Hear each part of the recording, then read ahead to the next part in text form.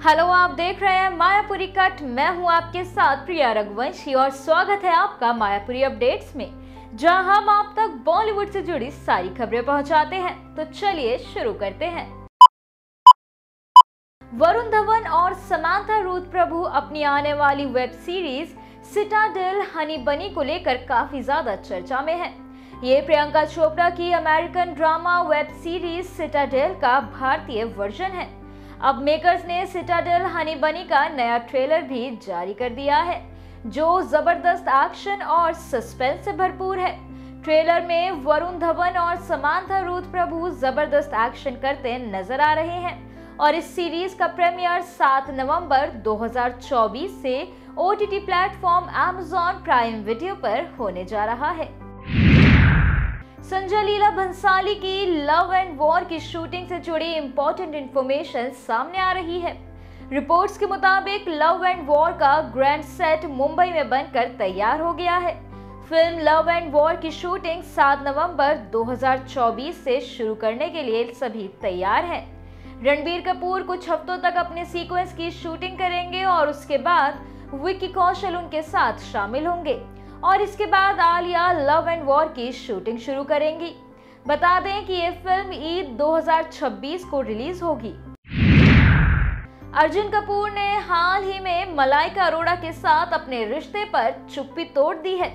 जी हाँ, अर्जुन कपूर को हाल ही में राज ठाकरे की दिवाली पार्टी में देखा गया था, जिसमें रोहित शेट्टी के डायरेक्शन में बनी फ़िल्म सिंघम अगैन की पूरी टीम पहुँची थी।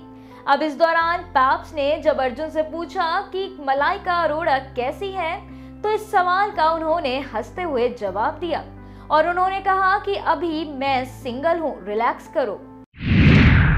बीते शनिवार दिलजीत दोसांझ का दिल्ली के जवाहरलाल नेहरू स्टेडियम में कॉन्सर्ट हुआ था, जिसमें लगभग पैंतीस हज़ार लोगों ने पार्ट लिया।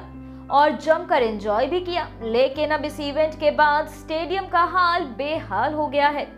कचरा, शराब की बोतलें और टूटी कुर्सियाँ हर जगह बिखरी मिली हैं। जिसके बाद एथलीट बेअंत सिंह ने इसका वीडियो सोशल मीडिया पर भी शेयर किया है, जिसमें उन्होंने यह साफ़ दिखाया कि वहाँ कितना कचरा है और इस पर अपनी नाराज़गी भी जताई। विद्या बालन इन दिनों अपनी आने वाली फ़िल्म भूल भुलैया थ्री के प्रमोशंस में बिज़ी हैं। जिसमें उनके साथ माधुरी दीक्षित भी नज़र आएँगी। वहीं प्रमोशंस के दौरान विद्या ने अपनी फ़िल्म द डर्टी पिक्चर के सीक्वल को लेकर अपनी एक्साइटमेंट ज़ाहिर की। विद्या ने बताया कि द टर्टी पिक्चर उनके करियर के लिए गेम चेंजर साबित हुई थी और जब मिलन लूथरिया ने उन्हें इस फ़िल्म का ऑफ़र दिया था तो उन्होंने बिना झिझक के इसके लिए हाँ कर दिया था। दिग्गज एक्टर अनुपम खेर इस वक्त अपनी अपकमिंग फ़िल्म विजय 69 को लेकर सुर्खियाँ बटोर रहे हैं। और अब निर्माताओं ने विजय 69 का ट्रेलर भी जारी कर दिया है, जिसमें अनुपम खेर ने एक बार फिर अपनी उम्दा अदाकारी से ऑडियंस का दिल जीत लिया है। इस फ़िल्म का प्रीमियर 8 नवंबर 2024 से ओ टी प्लेटफॉर्म नेटफ्लिक्स पर होने वाला है। दिग्गज अभिनेता नाना पाटेकर अपनी आगामी फ़िल्म वनवास को लेकर काफ़ी ज़्यादा चर्चा में है। इस फ़िल्म में अभिनेता उत्कर्ष शर्मा भी मुख्य भूमिका में होंगे। वहीं अब वनवास का टीजर भी मेकर्स ने रिलीज़ कर दिया है, जिसे फैंस भी काफ़ी पसंद कर रहे हैं। वहीं इस फ़िल्म की कहानी एक पिता और बेटे के रिश्ते पर है। बता दें कि वनवास इस साल क्रिसमस के खास मौके पर यानी 20 दिसंबर 2024 को सिनेमाघरों में दस्तक देगी।